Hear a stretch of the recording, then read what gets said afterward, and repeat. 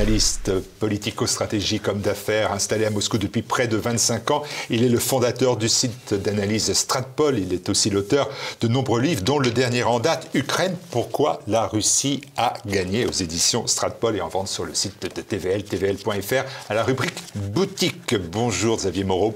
Bonjour ma servie. Merci d'être venu de Moscou jusqu'à euh, nos portes afin d'évoquer euh, cette guerre, ce conflit entre l'Ukraine et la Russie. Et même, d'ailleurs, avant d'évoquer le théâtre de guerre, euh, arrêtons-nous un instant sur la guerre des chiffres, du nombre de soldats tués du côté ukrainien, mais aussi, bien évidemment, du côté russe. Le président Zelensky a affirmé que 31 000 militaires ukrainiens ont trouvé la mort en deux ans de conflit. Les sources américaines évoquaient jusque-là 70 000 victimes de combats ukrainiens.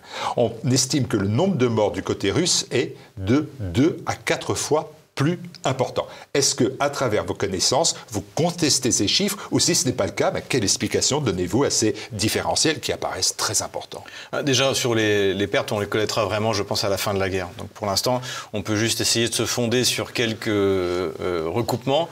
Euh, ce que je fais, moi, c'est que j'utilise les chiffres euh, que les Ukrainiens disent sur eux-mêmes ou que les Russes disent sur eux-mêmes en les recoupant avec les uns et les autres. Donc ce que je retiens du côté russe, c'est que selon la BBC en russe, donc on ne peut pas soupçonner être euh, un agent du Kremlin, ils estiment aujourd'hui qu'il y a eu 41 000 morts russes. Euh, donc, euh, et ça, comment est-ce qu'ils font? Ils vont chercher les, les nécrologies, les, les comment dirais-je, les cimetières, les, les les, annonces, etc.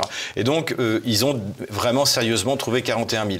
Après, quand vous lisez l'article de la BBC en russe, après, ils font un facteur x4 on ne sait pas pourquoi, mais enfin on sait pourquoi, c'est qu'ils ne peuvent pas dire qu'il y a eu que 41 000 morts euh, côté russe. Mais de morts prouvées russes, on a 41 000 ça me paraît, euh, et peut-être aussi, on peut rajouter 6 20 000 euh, pour les républiques autoproclamées, euh, qui elles ont mobilisé dès les premières heures du conflit, et ils ont mobilisé, ça je, l'ai vu sur place, de, de 18 à, 60 ans, donc des gens, ils ont jeté dans, dans, la fournaise des gens qui n'étaient pas, qui étaient pas préparés. Donc voilà, mais ça on ne sait pas trop. Voilà du côté russe. Côté ukrainien, donc 31 000 c'est pas sérieux. Enfin, ce que je pense qu'en fait, il y a 31, c'est le chiffre officiel, c'est-à-dire qu'il y a 31 000 foyers euh, parce que leurs euh, fils ou leurs euh, maris sont morts sur le front. C'est ça que je pense. Et je pense que Kiev, pour, effectivement, pour ne pas annoncer autant de pertes, pour ne pas avoir à payer autant de familles, eh bien, diminue ou annonce que, par exemple, il a disparu. il a déserté, mais qu'en fait, on l'a vu d'ailleurs à la VDFK, les Russes sont arrivés, il y avait des cadavres partout et des blessés abandonnés. donc voilà ce que je pense. Donc 31 000, ça me paraît pas très sérieux. Ce qui est intéressant, c'est qu'il y a un député euh, bandériste, euh, ancien député bandériste, qui était le chef du parti de Poroshenko au Parlement. Donc Poroshenko est aussi un, anti-russe. C'était le prédécesseur de Zelensky, qui en janvier 2024 a annoncé 500 000 morts et blessés graves. Et il a dit il faut dire la vérité aux Ukrainiens pour qu'ils comprennent pour qu'ils comprennent pourquoi on mobilisait. Donc je pense que ça, et c'est aussi le chiffre qu'on entend euh, chez des gens comme le colonel McGregor aux États-Unis. Ou qu'on a euh, entendu de, la part du président Sarkozy, l'ancien président de la Exactement, voilà, le président Sarkozy. Ce qui est clair, c'est que ça a largement dépassé la, centaine, la centaine de milliers. Il y a aussi des choses qui sont reconnues par tout le monde, c'est que par exemple la puissance de feu russe est, selon les périodes, entre 6 à 10 fois supérieure à la puissance de feu ukrainienne. Donc euh, normalement, ça va se traduire aussi par le, par le nombre de pertes. Ensuite, c'est depuis le mois de septembre 2022, euh, c'est l'Ukraine qui attaque euh, jusqu'à la fin, on va dire jusqu'à l'automne, c'est l'Ukraine qui attaque. Et quand on attaque, on est exposé. En plus, l'attaque, la fameuse contre-attaque de l'été qui a, qui a, échoué de manière fulgurante, on va dire, a évidemment coûté très cher, très cher en vie humaine. Il y a ça, et il y a aussi, de manière concrète, pourquoi est-ce que l'Ukraine mobilise? La Russie a mobilisé une fois à l'automne 2022, et c'est terminé.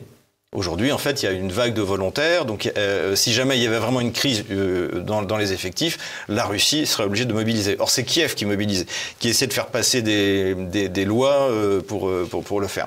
Donc, c'est visiblement Kiev qui a un, qui a un, problème. le Wall Street Journal annonçait d'ailleurs qu'il y avait eu un audit qui avait été fait il y, a, il y a moins d'une semaine, où il manquait 700 000 soldats. Alors après, c'est des chiffres aussi que Kiev, parce que Kiev annonce n'importe quoi comme chiffre depuis le début. Mais cela dit, ce qui est clair, c'est qu'ils ont annoncé par exemple euh, que juste avant le début de l'opération militaire spéciale, donc en début février 2022, il y avait 420 euh, 000 euh, militaires qui étaient prêts à attendre l'invasion russe. C'était, ça, c'était dans Défense Express, qui est le magazine du complexe militaire-industriel ukrainien, qui est lié au ministère de la Défense ukrainien. Ensuite, à l'été 2000, 2022, Reznikov, le ministre de la Défense ukrainien, a annoncé qu'il y avait une armée d'un million d'hommes qui était prête. Alors que les Russes étaient toujours à 160 000. Hein. Les Russes ont toujours été en infériorité numérique, aussi, ça faut le dire, euh, depuis le début du conflit si on en croit les chiffres qui étaient annoncés par Kiev et par l'OTAN. Et euh, là, récemment, euh, Vladimir Zelensky, au début de cette année, a dit qu'ils étaient 880 000. Donc, euh, pourquoi est-ce qu'ils ont encore besoin de mobiliser? Et où sont passés d'ailleurs ces un million de soldats qui étaient là, qui étaient là à ce moment-là? Puis encore une fois, cet audit cité par le Wall Street Journal de 700 000, de 700 000 hommes qui ont disparu. Peut-être aussi que l'Ukraine a menti sur le nombre de soldats pour avoir plus de financement par euh, l'OTAN, tout est possible. Ce que je veux dire globalement, c'est que euh, c'est pour ça que depuis moi, depuis le, quasiment le début du conflit, je me suis rabattu sur la carte des opérations militaires. Parce que quoi qu'il arrive, il y en a qui avancent, il y en a qui reculent. Il y en a qui prennent des, qui prennent des, forteresses et il y en a qui en abandonnent. Donc, euh, Toujours est-il que l'Ukraine a tenu L'Ukraine tient pour l'instant, oui. C'était une surprise? Euh, ben, disons qu'en fait, euh, avec l'arrivée de l'OTAN, euh, c'était quelque chose qui, euh, qui, me, paraît, qui me paraît assez, assez normal. Si, L'Ukraine en elle-même, elle a perdu la guerre en avril 2022. D'ailleurs, c'est pour ça qu'elle est prête à signer un traité. Ça a été reconnu par David Arakamia, qui est le chef du groupe parlementaire de Zelensky au, à la Rada, donc au Parlement ukrainien. Ça a été reconnu, je crois que c'était en novembre 2023, donc en disant, nous, on était prêt à signer un accord avec les Russes, et puis le 9 le 9 avril, Johnson est arrivé et a dit non, non, on va leur faire la guerre. Donc, si les Ukrainiens étaient prêts à signer le traité, c'est qu'ils avaient bien compris qu'ils euh, ne pouvaient pas gagner contre les Russes. Mais à partir du moment où l'OTAN rentre en, guerre, euh, c'est-à-dire bah, immédiatement après l'arrivée de Johnson, hein, les premières livraisons de chars, euh, d'ailleurs en panique, ce qui montre aussi que là aussi les, les Kiev avaient menti sur le nombre de pertes ukrainiennes, c'est qu'ils expliquaient qu'ils avaient pris des chars aux Russes, que les pertes russes étaient monstrueuses. Dans ce cas, pourquoi, est-ce que la Pologne et la Tchéquie et la Slovaquie doivent en urgence livrer près de 300 chars? Donc là aussi, on, a menti sur ces chiffres-là de manière, de manière euh, évidente. Donc à partir du moment où l'OTAN s'implique, et euh, ça, d'ailleurs, je ne pensais pas qu'elle s'impliquerait autant. Parce qu'aujourd'hui, l'OTAN est tellement impliqué que ça fait que la défaite de Kiev, qui est inévitable depuis le début, sera aussi la sienne. On va en reparler, on va en reparler, parce qu'on va évoquer mhm. euh, cette guerre, bien sûr, et, avant, quand même encore, les déclarations du président Macron à Bruxelles, puis à Prague, il a prononcé des propos controversés sur l'envoi possible de militaires occidentaux, donc français, euh, sur euh, le théâtre d'opération, c'est-à-dire en, en, Ukraine. Alors même si le chef de l'État réfute le terme, il semble bien que nous entrons dans une logique qui est une logique d'escalade. Alors, je pense pas. je vais vous surprendre. Euh, moi, je crois au pouvoir rationalisant de l'atome, comme disait le général Lucien Poirier, qui était un des quatre généraux qui ont mis au point notre doctrine de dissuasion, et, qui, d'ailleurs, ce pouvoir dissuasif euh, de, l'atome, rationalisant, euh, a empêché qu'il y ait une guerre sérieuse entre l'Inde et le Pakistan. Et je pense que ce sera pareil. Et c'est ce que Vladimir Poutine essaie de, rappeler à Emmanuel Macron, qui est d'une génération qui n'a connu ni les essais nucléaires, ni, ni Hiroshima, on va dire. C'est-à-dire expliquer deux puissances nucléaires ne se font pas la guerre directement, parce que sinon, ça peut dégénérer. Donc c'est pour ça que l'OTAN ne fera jamais la guerre directement à la Russie. Je pense que malgré, encore une fois, le, côté un peu léger euh, d'Emmanuel Macron, pour c'est moins qu'on puisse dire, et d'une partie des dirigeants d'ailleurs euh, européens, je pense que les puissances nucléaires ne sont pas prêtes à en venir euh, à l'arme ultime. Donc c'est pour ça que je pense qu'il n'y aura pas d'affrontement direct. Je pense surtout qu'Emmanuel Macron a dit ça pour des raisons intérieures, c'est faire oublier le salon de l'agriculture, et aussi parce qu'il pour des raisons extérieures, c'est-à-dire qu'il a la pression de Scholz qui dit et qui a raison de le dire. Euh, ça a été d'ailleurs ce que, ce que dit Rasmussen, l'ancien secrétaire général de l'OTAN, je lisais ça en, en arrivant, en disant il faudrait que la France fasse plus. Et c'est vrai que la France n'a pas donné grand-chose. Euh, elle a donné, euh, en disant on est les premiers à donner des chars, mais elle a donné des AMX-10 RC qui sont que les Ukrainiens ont utilisé une fois, après ils ont compris, ils les ont, ils les ont mis de côté. C'est pas du tout adapté, c'est fait pour la faire la guerre en Afrique, mais pas contre la Russie.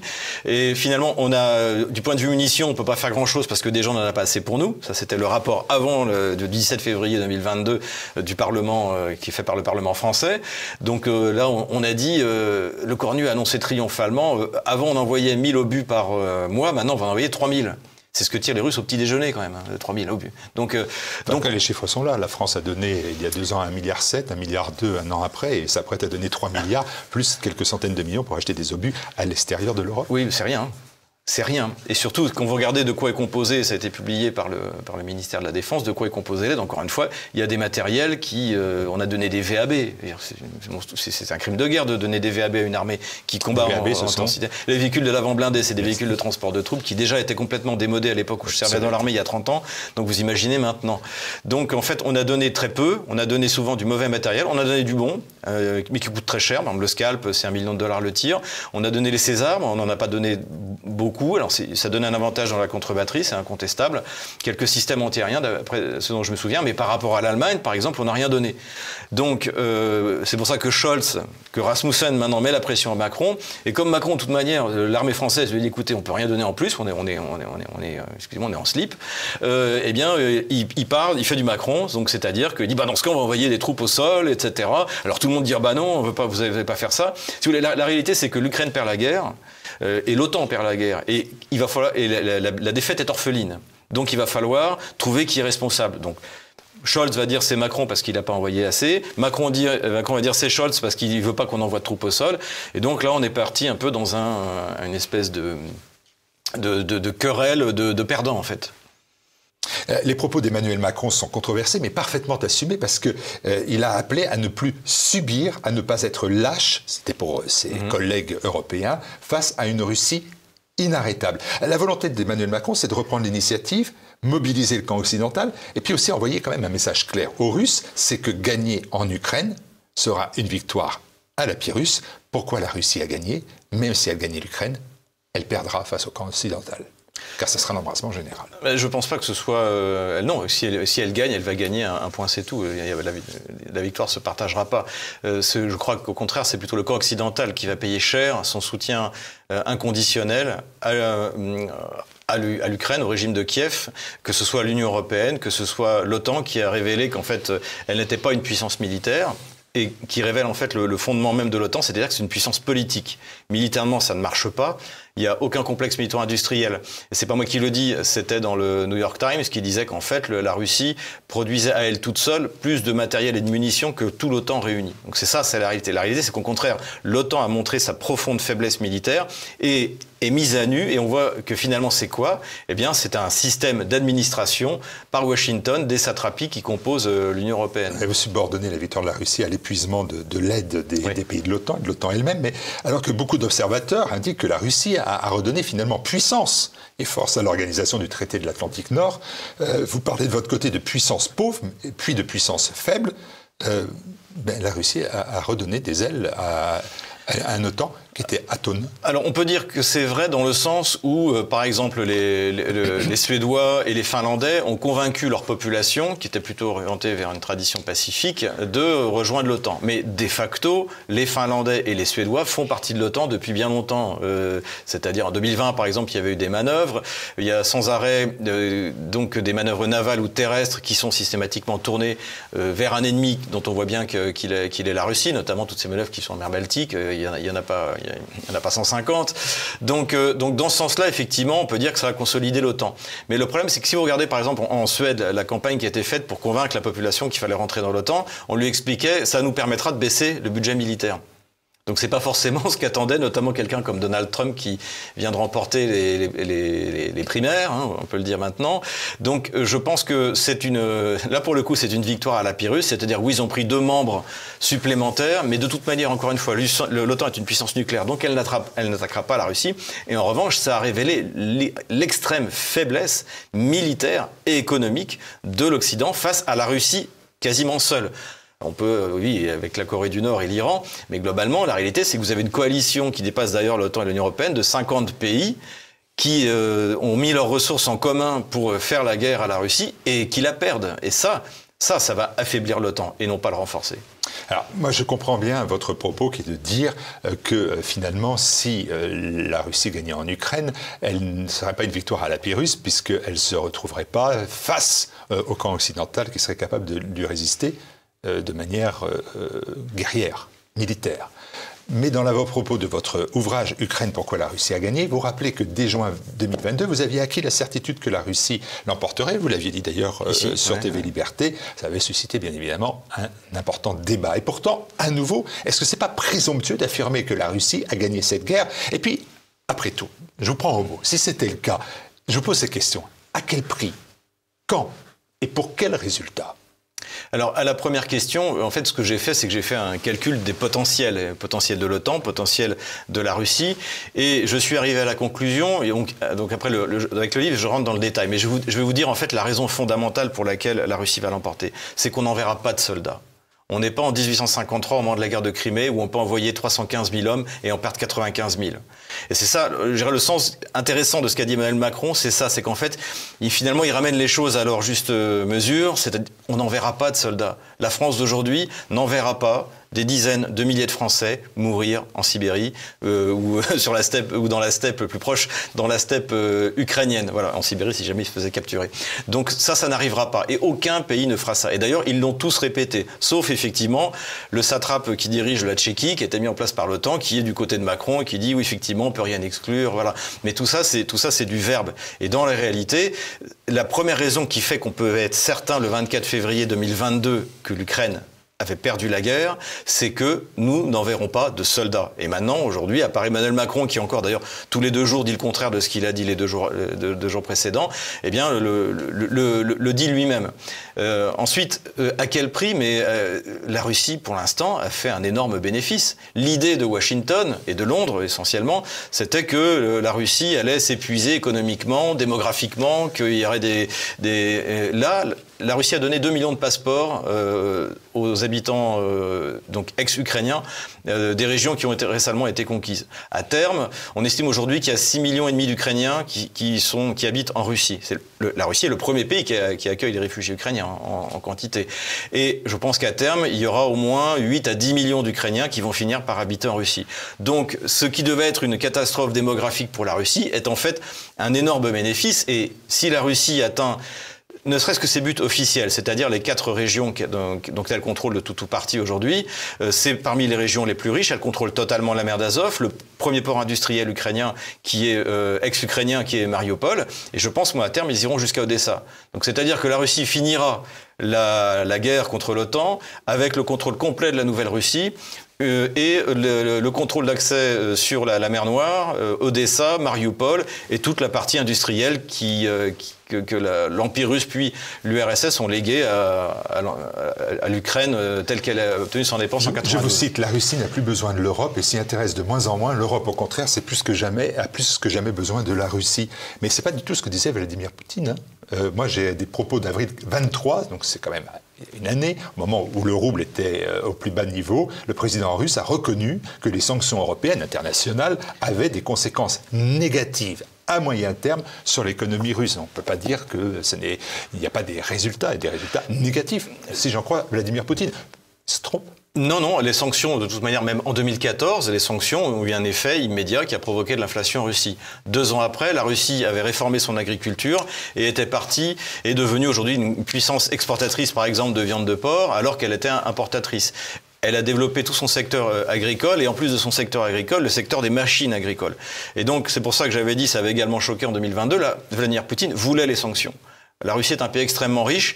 S'il n'y a pas quelque chose qui l'aiguille, elle va importer ce dont elle a besoin en l'achetant. Si jamais euh, elle a des sanctions, si elle-même met des contre-sanctions, elle va commencer à le produire elle-même. Et c'est ce qui est en train de se passer.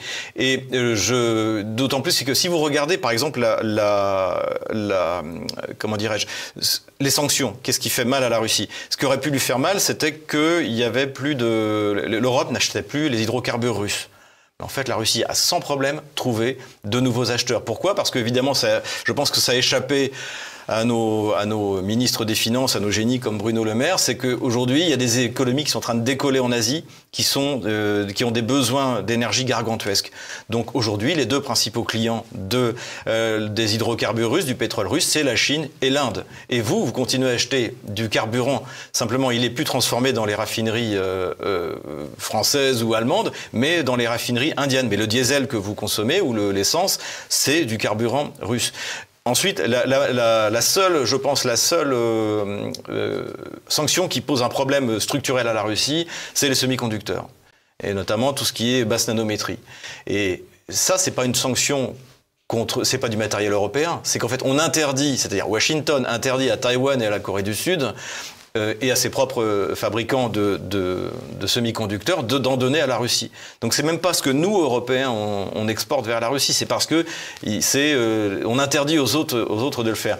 Et ça aurait pu marcher si la Chine n'avait pas été là. Mais la Chine a très bien compris où était son intérêt. Là aussi, c'est une erreur d'appréciation fondamentale des dirigeants occidentaux. et finalement, la Russie, là aussi, s'en sort très bien. Et et fabrique elle aussi euh, des semi-conducteurs, alors qu'ils n'ont pas le, la basse nanométrie et la très basse nanométrie qu'on peut trouver à, Taïwan ou à, ou, à, Séoul, mais qui suffisent, par exemple, pour mettre dans un missile ou dans une voiture ou dans un véhicule. Euh, et, en plus, de toute manière, écoutez, euh, la, la, Russie est un pays trop grand pour être isolé. Si vous regardez les pays limitrophes de la Russie, vous avez des pays d'Asie centrale qui tout d'un coup ont multiplié par 5 leur importation de pièces détachées de Mercedes.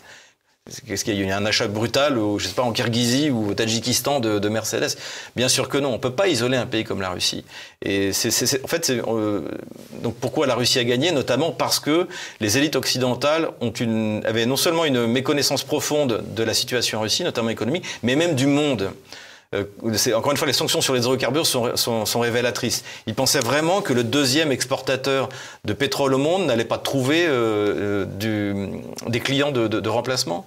Et tout ça, en plus, cette instabilité qui a été créée sur les marchés d'hydrocarbures a augmenté les prix, donc la Russie gagne encore plus d'argent. Et là encore, c'était dans Bloomberg euh, la semaine dernière, euh, euh, augmentation drastique des revenus pétroliers de la Russie, parce qu'en en fait, il y a une instabilité sur le marché qui est créée par, par les, sanctions, parce que aussi, contrairement à ce qu'on imaginait, l'Arabie saoudite se met d'accord avec la Russie pour réduire la production, pour maintenir les prix élevés. Donc, donc voilà, donc pour l'instant, le bilan qu'on peut l'imaginer, alors après, peut-être qu'il va se passer quelque chose que, je n'ai pas prévu, mais pour l'instant, quand on voit le rapport de force sur le terrain, le rapport de force économique, je ne vois même pas comment la Russie pourrait perdre. Dans cet ouvrage Ukraine, pourquoi la Russie a gagné, il y a encore des propos qui vont soulever euh, le, débat, la controverse, comme on dit aujourd'hui, la polémique. Est-ce que vous développez une, notion quand même euh, chrétienne d'une vision idyllique ou alors de la propagande?